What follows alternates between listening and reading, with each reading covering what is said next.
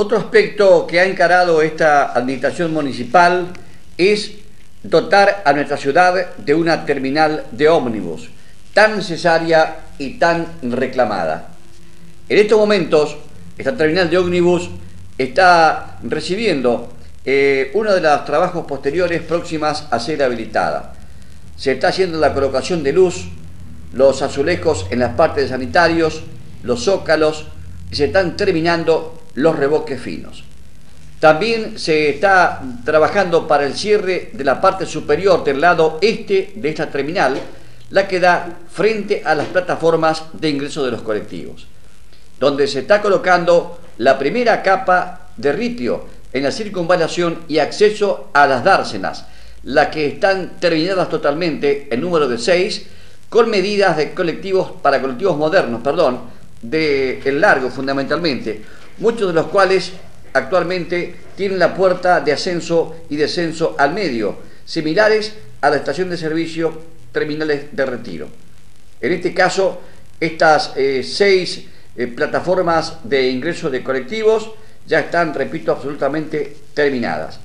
En cuanto a los locales licitados, fueron adjudicados eh, prácticamente todos, quedó uno solo, el que volverá, volverá a ser llamado oportunamente para su eh, alquiler.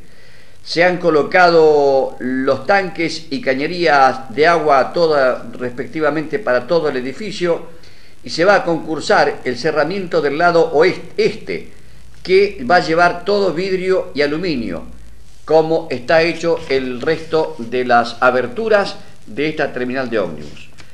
Eh, hablamos del ripio, le faltan dos capas más, tiene una sola, y además se le va a hacer un riego asfáltico.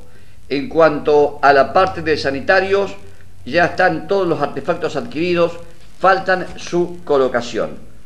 En el frente oeste, o el que da exactamente sobre la ruta número 2, está eh, concluida la terraza. Falta la zona de circunvalación y estacionamiento que eh, para automotores, eh, remises y taxis que está eh, también próxima a ser iniciada en los trabajos correspondientes. Se gestionó ante la cooperativa telefónica de Tostado la colocación de locutorios con modernos aparatos telefónicos de última generación.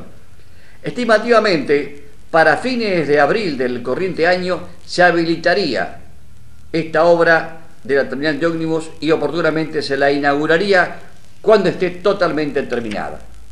Recordemos que esta obra se inicia prácticamente en 1973, cuando la administración del primer intendente de Tostado, señor Benigno Guzmán, adquiere los terrenos para esta terminal de ómnibus.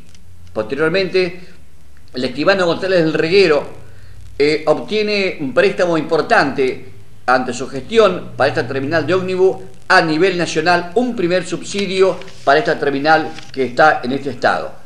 Posteriormente, el intendente mm, Francisco Cravero adquirió materiales de construcción para hacer la obra y esta administración, con la colaboración del Consejo Deliberante Municipal y todos los arquitectos y técnicos que se presentaron a concurso con proyectos diferentes, más el aprovechamiento de algunos programas intensivos de trabajos, se ha hecho todo lo que se está viendo además, se recibió un nuevo subsidio de la Secretaría de Transporte de la Nación y también de la provincia. De esta manera, se está llegando al final de una obra absolutamente necesaria.